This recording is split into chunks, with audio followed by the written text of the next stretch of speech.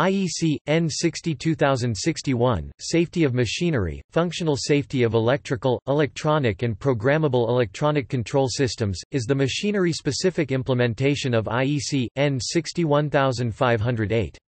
It provides requirements that are applicable to the system-level design of all types of machinery safety-related electrical control systems and also for the design of non-complex subsystems or devices.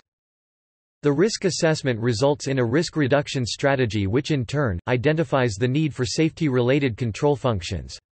These functions must be documented and must include Functional Requirements Specification Safety Integrity Requirements Specification The functional requirements include details like frequency of operation, required response time, operating modes, duty cycles, operating environment, and fault reaction functions.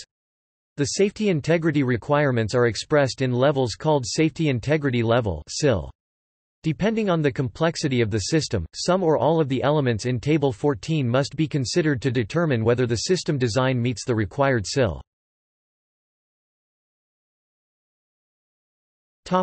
External links.